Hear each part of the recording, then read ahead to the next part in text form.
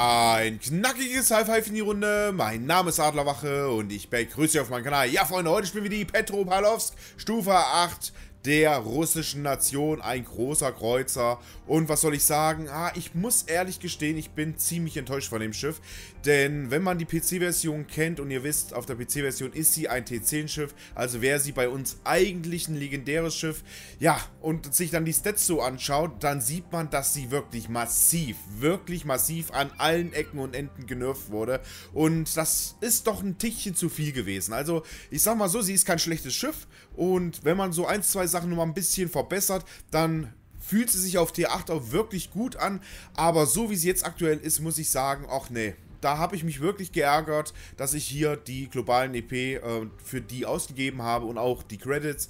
Äh, da hätte ich mir auf jeden Fall dann doch lieber was anderes geholt. Wir schauen es uns jetzt in aller Ruhe an und ich zeige euch dann auch, was so an ihr genervt wurde und was ich persönlich nochmal ein Tickchen bei ihr verbessern würde, damit sie einfach auf T8 auch wirklich sehr, sehr gut performt oder sagen wir mal sehr gut performt. Sehr, sehr gut ist ja dann wieder ein Tickchen zu viel. Aber wie gesagt, sie ist an sich nicht schlecht, nur nicht das, was ich definitiv erwartet hätte. Ähm, ich muss ganz ehrlich sagen, man hätte auch einfach, man hätte auch einfach das Schiff ähm, so lassen können, wie sie normalerweise ist und hätte sie einfach auf legendär gebracht.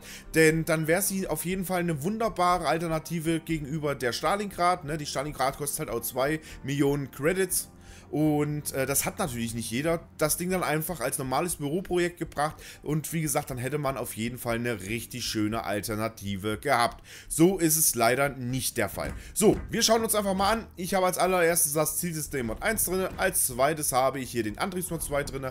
Als drittes habe ich das Tarnsystem Mod 1 drin. Dann habe ich hier Feuerleitanlagen Mod 2 drin. Und zum Schluss die drei Sachen, die man so oder so einbaut. Kommen wir zur Ausrüstung. Wir haben dabei Schadensbegrenzung. Wir haben zwei zweimal Sonar dabei. Ihr seht schon, Ortung von Schiffen 4,7 Kilometer, Ortung von Torpedos 3,3 Kilometer. Also ein ganz normales Standardsonar. Wir haben Radar dabei, natürlich das russische Radar, 11,7 Kilometer, Ortung von Schiffen, 20 Sekunden Dauer, 171 Sekunden Nachladezeit und wie gesagt zwei Stück dabei und vier Reparaturmannschaften. Das liegt allerdings an meinem Kapitän, weil ich die Petro mit einem Schlachtschiffkapitän fahre. Ja, ich habe sie auch vorher ein paar Mal mit dem äh, Kuznetsov gespielt gehabt. Ich muss ehrlich sagen, die Petro fühlt sich bei mir auf jeden Fall deutlich besser an mit dem äh, Ketrov und ähm, deswegen habe ich den hier drauf gemacht, weil den Ketrov habe ich beispielsweise auch immer wieder auf der Stalingrad und funktioniert einfach einwandfrei. Spezi Spezifikation. Überleben 60 Punkte, Trefferpunkte 45.500 und hier fängt schon an. Also auf dem PC hat man normalerweise bei der Petro 55.000 bis so 60.000 Trefferpunkte. Also ihr seht, wir haben hier einfach mal 10.000 Leben weniger bekommen. Das ist schon massiv. Wenn man jetzt zum Beispiel die Egir dagegen hält, ne? Die hat ja, glaube was hatte sie, um die 70.000? Moment, wir schauen nochmal ganz kurz nach, nicht, dass ich hier irgendeinen Stuss erzähle. Äh, wo haben wir sie denn? Ja, Egir. Da, 62.000. Also wir haben hier wirklich fast 20.000 Leben weniger, obwohl wir genauso ein großes Schiff sind wie die Aegir. Also das ist schon hart, ne? Und man muss halt auch noch bedenken, die Aegir hat halt auch noch Torpedowerfer. Die hat einen besseren Bug. Also, boah, also 45.500 Leben ist wirklich sehr, sehr wenig. Hier muss ich ehrlich sagen, sollten sie auf jeden Fall nochmal einen drauflegen. Also so 50.000, 55.000, das ist eigentlich das, was sie mindestens haben sollte. Panzerung 16 bis 300 mm. Auch da sind wir deutlich schlechter aufgestellt als die äh, wie heißt es, Aegir. Ne, Aegir hat ja bis zu 360 mm. Torpedoschadensverringerung, Torpedoschadensverringerung haben wir auch nur 25%. Auch da ist die Aegir deutlich besser aufgestellt. Artillerie haben wir hier 3x3 220 mm, Feuerreichweite 18,5 Kilometer, Nachladezeit 14,5 Sekunden. Auch hier haben sie wieder ziemlich genervt, denn auf dem PC, wenn ich mich noch recht entsinne, hat sie so um die 12 Sekunden Nachladezeit. Dauer von 80 Grad Kehr 30,5 Sekunden. Das ist aber nicht schlimm, denn das Geile an der Petro ist, sie hat alle drei Türme oder sie kann alle drei Türme 360 Grad drehen. Sprenggranaten Höchstschaden 3050, Brandwahrscheinlichkeit 14%, AP-Granaten Höchstschaden auch hier haben sie massiv runtergedrückt, weil auf dem PC hat sie glaube 6600 oder 6800 ähm, AP-Granaten Höchstschaden Schaden. Wir sind hier nur bei 5750. Feuerreichweite von der Secondary haben wir 5,2 Kilometer, wir haben 6x2 130 mm, Nachladezeit 4 Sekunden, Springer nach Schaden 1800 und eine Brandwahrscheinlichkeit von 8%. Flugabwehr haben wir 96 Punkte und da muss ich wirklich sagen, die fühlt sich wirklich gut an. Also ähm, die holt schon ordentlich Flugzeuge runter. Manövrierfähigkeit 33,5 Knoten, Höchstgeschwindigkeit ist in Ordnung, Wendekreisradius seht ihr schon, ist auf jeden Fall riesig, 990 Meter und eine Ruderschnittzeit von 12,1 Sekunde. Tarnwert 12,4 Kilometer Erkennbarkeit zum Wasser, Erkennbarkeit zur Luft 7,8 Kilometer und eine garantierte Erkennbarkeit von 2 Kilometern. Kommen wir jetzt zur Panzerung von dem Schiff. Und hier haben sie auch wieder genervt, denn auf dem PC hat sie hier vorne 27 mm Bugpanzerung. Wir haben hier leider nur 25 mm und 25 ist auf T8 wirklich, wirklich hart, weil äh, alles ab 38 kann euch frontal einfach so dermaßen einer reindrücken, ne? Sie können euch overmatchen und ihr spielt gegen Musashi und Yamato und die lachen euch einfach nur aus. Also im Boattanken könnt ihr bei solchen Schiffen absolut vergessen und ihr seht es auch, der Eisbrecher ist nicht sonderlich hoch, ne? Und hat 40 bis 140 mm Panzerung. Ihr seht, die 140er sind aber allerdings nur hinten. Also auch hier hat Wargaming massiv genervt. Also egal wo ihr schaut, das Ding ist wirklich in allen Ecken genervt worden. Das finde ich nicht gut. Also das finde ich wirklich nicht gut. Klar, man muss einfach Abstriche machen, keine Frage, wenn so ein Schiff einfach auf eine tiefere Stufe kommen soll. Aber man muss es halt auch irgendwo nicht übertreiben. Ne? Schauen wir uns nochmal die Zitadellenpanzerung an, beziehungsweise wir können uns auch erstmal die Querab anschauen. Na, hier. So, dann eine Querab haben wir auch nur von 21 bis 150 mm. Also ihr seht, frontal, wie gesagt, 25, äh, 25er, 38er können euch einfach overmatchen und das tut echt weh. Das tut wirklich, wirklich weh. Erst recht, weil wir auch wirklich wenig Leben haben. Ne? 45.000 Leben ist nix. Das sind zwei Shima-Torpedos und wir sind einfach weg. Nicht mal nur Shimas, also generell, ne? T8, Yugumo und, ähm, wie heißt Hayate auf T7. Also die japanischen DDs sind euer Tod. Da brauchen es wirklich nur zwei Torpedos und ihr seid einfach weg. Ihr seid einfach weg und das finde ich nicht gut. Ne? Und dann haben wir natürlich auch noch eine schön große Zitadelle, damit wir, wenn wir die Breitseite zeigen, auch nochmal ordentlich einen ins Gesicht bekommen. Ähm, ihr seht schon, auch wirklich nicht die beste Panzerung, was die Zitadelle angeht. Wir haben, na, wo haben wir es denn hier? Seitenpanzerung haben wir 40 bis 65 mm. Obendrauf haben wir 70 bis 90 mm. Also zeigt ihr Breitseite mit dem Teil, kriegt ihr richtig eine ins Gesicht. Also da, ja, Holt euch auf jeden Fall Taschentücher, weil ihr werdet auch immer und immer wieder ganz schön Tränchen im Auge haben. Sicherer Schuss, Granat mit guter Ballistik, das stimmt. 360 Grad Türme, die Haupttürme können um 360 Grad gedreht werden. Das stimmt auch. Also wie gesagt, ihr könnt wirklich alle drei Türme 360 Grad drehen. Das finde ich total witzig. Hoher AB-Durchschlag, überdurchschnittliche Durchschlagskraft der AP, muss ich ehrlich sagen, habe ich hier jetzt auf der Konsolenversion nicht wahrnehmen können. Also wenn da Schlachtschiffe Breitseite fahren, ist es auf dem PC so, da haust du selbst auf keine Ahnung, auf 12, 13 Kilometer, da haust du Zitas raus. Hier fahren die Schlachtschiffe Breitseite und ja, es kann euch sogar passieren, dass ihr Abpraller macht. Ne? Und ihr denkt euch so, Alter, was ist denn hier nur los? Das ist doch keine Petro. Ne? Also, das ist echt hart. Klar, sie kann gut performen, keine Frage.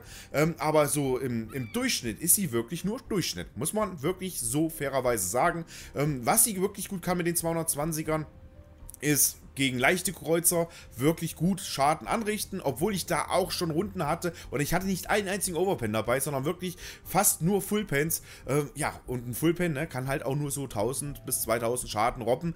Da habe ich, hab ich mir auf einer ähm, Edinburgh, äh, Edinburgh, habe ich mir da fast die Zähne ausgebissen. Die ist da Breitseite gefahren. Ich habe immer schön tief, äh, schön tief gezielt. Sie hat sich dann sogar angewinkelt, dass ich eigentlich die Chance erhöhe, dass ich eine Zita auf ihr mache und habe partout mit ihr keine Zitadelle gemacht. Und das war echt nervig, das war wirklich nervig. Aber fairerweise muss ich hier sagen, finde ich es gut, dass sie eben nicht so den Durchschlag hat wie auf dem PC. Das würde ich ganz ehrlich so lassen. Aber entweder sagt man hier, okay, sie kriegt ihre 27 mm Bugpanzerung, die sie auf dem PC auch hat, oder sie bekommt halt deutlich mehr Leben. Also die Kombination von einer enorm schlechten Bugpanzerung und wenig Leben finde ich persönlich einfach zu viel. Wie gesagt, ne, Nachladezeit wurde genervt, der AP-Schaden wurde genervt, ähm, der Reload wurde genervt, die Bugpanzerung wurde genervt, Ah, was habe ich noch? Irgendwas habe ich noch vergessen. Also ihr seht schon, Leben wurde genervt. Ich weiß nicht, ob ich es schon gesagt habe. Also sie hat richtig, richtig viele Nerfs bekommen, was ich eigentlich gar nicht verstehe. Ne? Bei russischen Schiffen,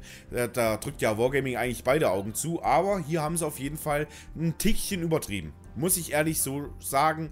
Ähm, ja, finde ich sehr schade. Also wie gesagt, die Bugpanzerung den Durchschlag, den würde ich so lassen. Finde ich absolut in Ordnung, wie er ist. Ne, da muss man halt auch bei, äh, bei Schlachtschiffen einfach mal aufpassen. Man kann eben nicht hier permanent auf die Schlachtschiffe Zitade äh, Zitadellen drücken.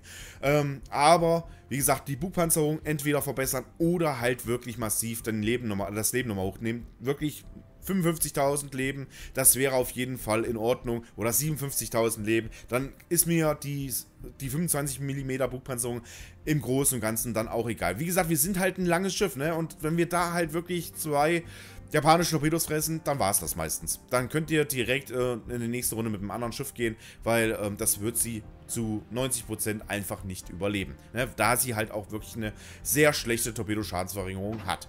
So, Schauen wir uns noch den Kapitän an. Wie gesagt, ich spiele sie jetzt mittlerweile mit Ketrov. Ich hatte sie vorher mit Kurzsetzdorf gespielt gehabt. Wir können auch nochmal kurz auf Kurzsetzdorf gehen. Da habe ich die, fast die gleiche, äh, die gleiche Skillung. Norman Scott und äh, Yamamoto.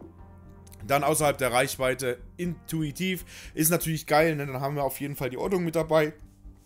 Dann durchstoßen, fixiert und zum Schluss vollständig verpackt. Wie gesagt, ich persönlich spiele sie mit Ketrov. Ähm, macht bei der Stalingrad mega viel Spaß. Ich kann es wirklich immer und immer wieder nur empfehlen. Dann habe ich hier Norman Scott, dann Nikolai Kuznetsov, dann habe ich hier Nur kein Ärger, Kreuzweise, Freiwilliger. Das hatte ich aber eigentlich nicht. Normalerweise hatte ich hier das hier drin. Also das kann sein, dass ich das jetzt hier äh, vergessen habe umzustellen. Normalerweise fahre ich dann mit Feuerwehrmann, um, die, äh, um das Risiko eines Brandes nochmal zu minimieren. Denn man muss einfach sagen, sie brennt auch enorm. Deswegen, wie gesagt, nur kein Ärger in Kombination mit Feuerwehrmann. Gerade auf den großen Kreuzern ist schon mega, mega geil. Dann Mechanikermeister und zum Schluss habe ich dann hier noch Wille zum Wiederaufbau drin gehabt. Habe ich vergessen rauszunehmen, würde ich jetzt hier auch Feuer mit Feuer bekämpfen. Aber in der Runde müsste ich, glaube ich, tatsächlich noch Wille zum Wiederaufbau drin haben. Ich habe es es noch vergessen, äh, überall umzustellen. Wie gesagt, äh, Feuer mit Feuer bekämpfen würde ich dann nehmen. Wir können es aber jetzt gleich mal umstellen, damit ich das nicht vergessen werde. Gut, Freunde, dann würde ich sagen, sehen wir uns gleich im Gefecht mit der Petro und schauen mal, was die Bude so kann. Bis gleich! So, Freunde, willkommen auf der Petro. Wir sind hier Weg des Kriegers, Herrschaft unterwegs. Begleitet werde ich von Tannenberg in seiner Smarland und Tobi in seiner Republik. Wir haben eine Malbo, zwei Iwamis, eine Massa, eine Brandenburg, eine Brindisi, eine Otschakov, eine Smarland und eine Udeloy im Gegnerteam. Bevor es jetzt hier natürlich losgeht, haue ich wieder direkt die Werbung raus. Diesmal wieder mit dem Frosch und dem Eistee. Frosch ist Ananas Maracuja und der Eistee ist Mango Maracuja. Beides sehr, sehr fruchtig und wie gesagt, gerade jetzt in der Sommerzeit absolut empfehlenswert. Nehmt die kurz mit und spart euch ein bisschen was. So, Freunde, willkommen auf der Petropavlovsk oder wie ich sie nenne, Petro Lombardi.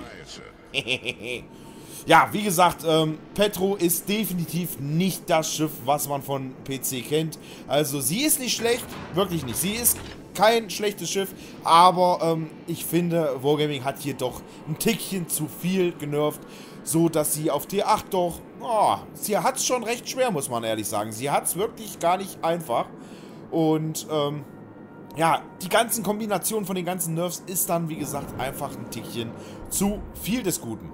So, Weg des Kriegers. Ihr wisst ja, ich liebe diese Karte. Ach, wie ich diese Karte liebe. Am liebsten würde ich sie 24 Stunden am Tag spielen. Ich hasse diese Karte. Ich hasse diese Karte schon alleine. Ne? Wir müssen jetzt hier schön außen rumfahren. Nehmen uns erstmal ganz lange aus dem Gefecht. Ach, herrlich. Actiongeladene Gefechte sind das ja, Reichweite hat sie von Haus aus jetzt auch nicht die größte. Nur wenn ihr halt wirklich den, den Kurznetzstoff und halt den Hauptbatterie-Mod einpackt. Sonst sieht es mit der, mit der ähm, Hauptbatterie-Reichweite halt auch recht mager aus. Also da wurde sie definitiv auch nochmal genervt. Also ihr seht, egal wo ihr guckt und sie mit der PC-Version äh, PC vergleichen wollt, äh, ihr werdet sie in allen Belangen nur als Nerf erleben. So, erste Granatensalve ist raus auf die Otschakov. Ja, die dreht raus, da wird nichts treffen. Ah, ein Abpraller. Sehr schön. Was ich halt wirklich gut finde, dass sie halt eben nicht diesen kranken Punch hat vom PC.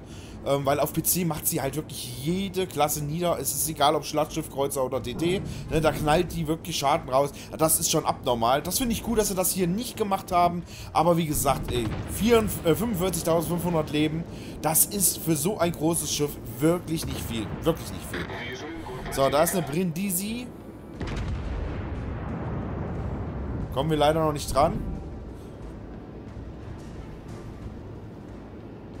Ja, ihr seht's, ne? Es dauert und dauert, bis wir hier wirklich mal richtig wirken können. Weil dadurch, dass sie halt eben nicht diesen kranken Durchschlag hat, wie auf dem PC, ja, habt ihr halt eure Aufgabenfelder doch ein bisschen limitiert ne, und geht dann halt wirklich eher so als Kreuzerjäger, was ich sehr cool finde. Das finde ich wirklich mega, mega gut.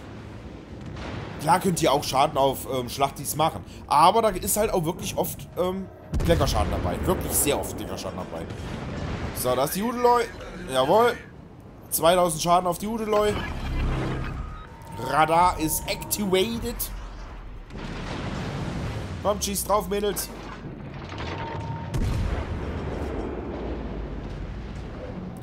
Gönnt sie euch. Jawohl, wir haben sie nicht getroffen.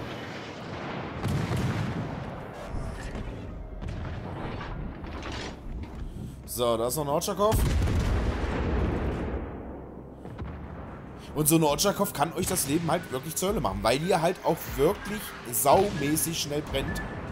Das werdet ihr hier in der Runde auch noch sehen. So, da ist die Iwami. Mal gucken, was wir der Iwami so an Schaden drücken können. Ah, 3500 Schaden. Ein Platzer, zwei Fullpens. Also Fullpens, äh, da müsst ihr euch dran gewöhnen. Das macht sie wirklich zu Genüge. So, da ist die Brindisi. Keine Ahnung, wie man die ausspricht. Müsste ich mal Skylex fragen, weil der ist ja Italiener. Jawohl, Doppelzitadelle. Ja, Wutschka. Ja, Wutschka. Ja, Zita. So, da ist noch die Jotschakov. Aber ihr seht, Granatgruppierung ist geil, ne? Nicht ganz so gut wie von der Stalingrad. Soll, es sollte auch klar sein. Aber Granatgruppierung und Streuung ist von dem Schiff wirklich gut. Ist wirklich gut, da kann man sich nicht beklagen. 14 Sekunden Nachladezeit, ja, ist halt recht hoch. Klar, man kann sie jetzt hier ähm, auch komplett auf Nachladezeit drücken. Vielleicht kommt man dann da auch auf seine 11, äh, 11 Sekunden runter. Oh, da müssen wir aufpassen. Jawohl, Zitadelle an der Otschakov. Da wird man von hinten penetriert. Das klingt so falsch und so dirty, aber es ist halt Fakt.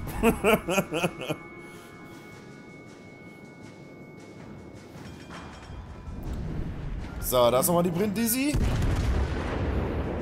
Also ihr seht jetzt, ne, Granaten fliegen schön eng zusammen, das ist geil. Ne, das, das ist man von den Russen gewohnt, so möchte man das auch haben. Ja, und dann kommt da nur 1700 Schaden bei rum. Ärgerlich. Schieß mal einfach nochmal auf sie.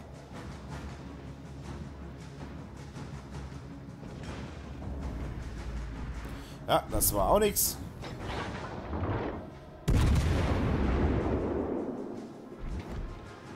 Und ihr seht's, ne? Jetzt der hintere Turm dreht komplett durch. Und das kann sie halt wirklich mit allen drei. Seht ihr im späteren Verlauf des Gefechtes auch nochmal. So, Otschakov bremst ab. Otschakov dreht auch leicht rein. Das könnte ihr Ende dann sein. Jawohl, Doppelzitadelle und sie ist weg. Papadoblin ist wieder unterwegs. Sehr schön. So, da hat unsere Riga auch zerrissen. So, dann fahren wir mal ein bisschen vor hier. Da ist die Brindisi. Aber ah, ich bin hier halt wirklich langsam unterwegs, weil ich halt nicht weiß, wie die Iwami steht. Ne? Nicht, dass die Iwami jetzt gleich durchbricht. Die haben da halt zwei Schlachtis stehen. Also was sie halt wirklich mit den 25mm Bug dann überhaupt nicht mehr kann, ist halt wirklich Brawlen. Ne? Das tut richtig weh. Also ihr solltet mit dem Ding eben nicht komplett in den Nahkampf fahren. Ähm, dafür ist sie halt auch saumäßig lang und wenn da wirklich die Schiffe an euch rumfahren, dann können die euch wirklich mit einer Breitseite komplett ausnocken. Aber ihr seht, sechs Zitadellen auf äh, zwei Kreuzern insgesamt, das ist schon in Ordnung. Also das finde ich absolut in Ordnung, dass sie halt jetzt hier wirklich bei uns, bei Legends, halt wirklich eher in dem Fokus steht als Kreuzerjäger. Finde ich geil. Das finde ich wirklich geil. Aber wie gesagt, 45.000 Leben, Freunde, ganz ehrlich. Ja, also, das ist schon echt ein bisschen hart. Das ist wirklich hart. So, wir fahren jetzt mal außen rum oder innen rum oder wie ihr auch wollt. So, da kommt die Marlboro, die auf uns schießt. Das ist eins der wenigen Schiffe, was uns nicht penetrieren kann frontal. Da können wir Boot tanken. Ah, schade. Ist leider nichts drüber gegangen. So, mal gucken, ob es jetzt gleich nochmal aufgeht. Nachgeladen Name, da ist sie. Und ihr wisst ja, Marlboro, eine riesen Zitadelle. Also da sollten wir auch wirklich mal eine Zita draufdrücken. Jawohl, Doppel-Zitadelle. Und die Musashi hat sie uns leider geklaut. Sehr schade. So, jetzt müssen wir hier aufpassen. Iwami kommt.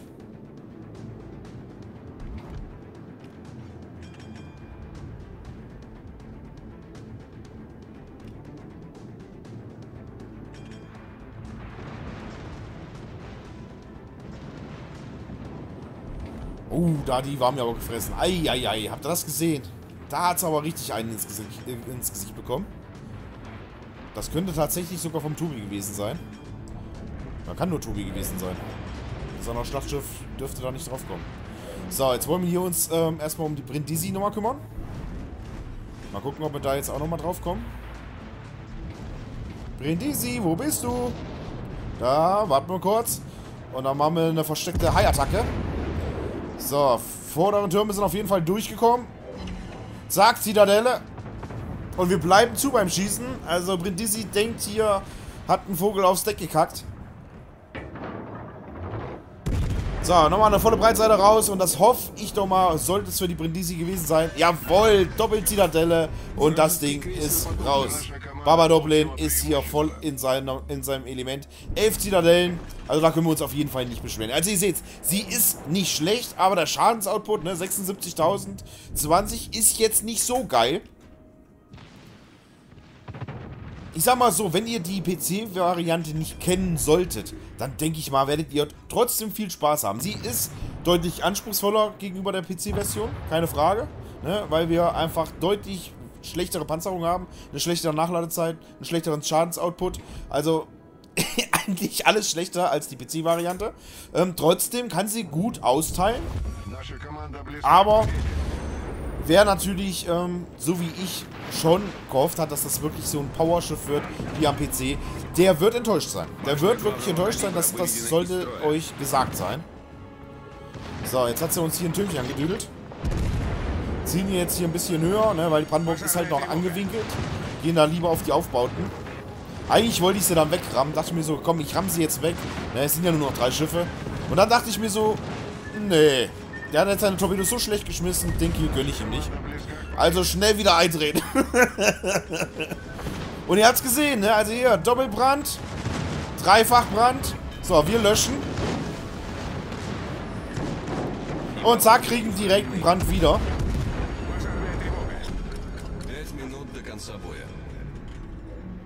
So, ich wollte eigentlich ein bisschen trollen. Ich wollte erst der Brandenburg die ganze Zeit jetzt noch hinterherfahren.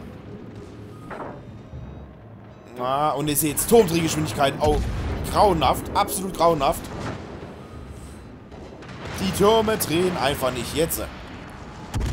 Ah, hätte ich ein bisschen höher gezielt. Aber trotzdem wieder ein Doppelbrand bekommen hier. Und die Brandenburg hat der Tobi weggeknallt. Da ist noch die Udeloi. Vorteil ist, wir haben hier auch noch ein Radar. Also wenn sie nochmal zugehen sollte, dann äh, können wir sie wieder aufdecken. Und zack, 3600 Schaden nochmal in die Udeloi gedrückt. Vielleicht können wir sie nochmal versenken. Also wenn ich sie jetzt wirklich mit 1 zu 1 mit der Aegir vergleichen sollte, ne, finde ich die Aegir um Welten geiler. Um Welten geiler.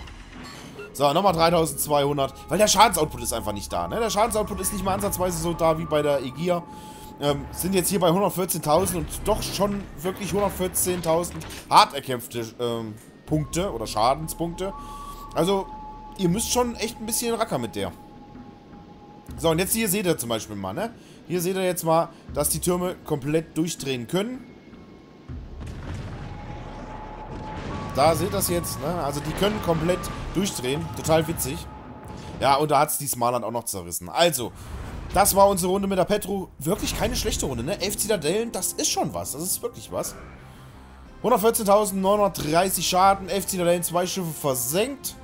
Äh, 42 Zieltreffer mit der Secondary, Platz 2 mit 2433 Basis-CP. Und dann schauen wir uns mal den wirtschaftlichen Teil an. 160.907 Credits plus gefahren. Fazit zum Schluss, die Petro ist kein schlechtes Schiff, aber in meinen Augen nicht das, was ich mir erhofft habe. Also ich bin wirklich enttäuscht von ihr. Ähm, sie ist eben nicht die Petro, die Angst und Schrecken verbreitet, wie man sie vom PC kennt. Sie ist wirklich eine, ja, wie soll ich sagen, eine Made-in-China-Variante. Also wirklich eine, in Anführungszeichen, eine billige Kopie von dem Originalen. Und ähm, ja, das dämpft den Spielspaß schon. Das dämpft den Spielspaß schon. Erst recht, wenn man, wie gesagt, das Schiff kennt. Wer das Schiff eben nicht von der PC-Version kennt, der wird Spaß haben. Ihr seht, sie macht trotzdem Schaden. Aber sie ist anstrengend zu spielen. Also sie ist nicht so einfach zu spielen. Und ähm, ja, wie soll ich sagen? Gebt, gebt euch so ein schönes Dankeschön zurück wie die Egier. Ne? Die Egier, die haut da wirklich immer mal wieder 10.000er Kellen raus. Das macht sie wirklich sehr, sehr, sehr, sehr selten, die Petro. Also das ist wirklich, ja, wie soll ich sagen, äh, mühsam den Schaden zusammen zu, zu klabustern. Ne? Also ihr macht da wirklich 1000, mal 2000, mal 3000, mal wieder 1000, mal 2000. Ähm, also es läppert sich langsam hoch. Klar, ne, gegen Kreuzer, da knallt ihr halt wirklich mal richtig einen rein. Und wenn die Schlachtschiffe recht nah dran sind, dann knallt ihr auf Schlachtschiffe auch wirklich gut einen rein. Also im Großen und Ganzen kein schlechter Kreuzer, aber in meinen Augen einfach ähm, ein Tickchen zu krass genervt. Gibt dem Schiff ein bisschen mehr Leben oder eben, wie gesagt, ein Tickchen mehr Leben und den 27mm Bug, dann wäre sie auf jeden Fall absolut in Ordnung und ich würde mich in keinster Weise beschweren. So, wie gesagt, finde ich sie ein Tickchen zu krass genervt.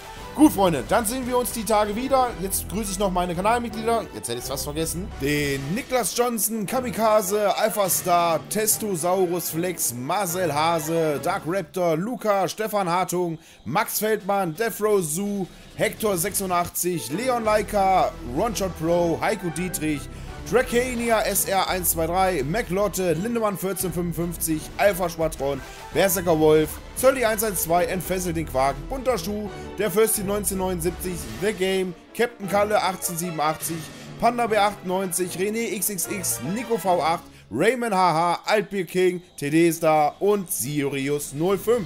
Vielen lieben Dank für euren Support. Und wie gesagt, dann sehen wir uns die Tage wieder. Bis dahin, euer Adlerwache, macht's gut!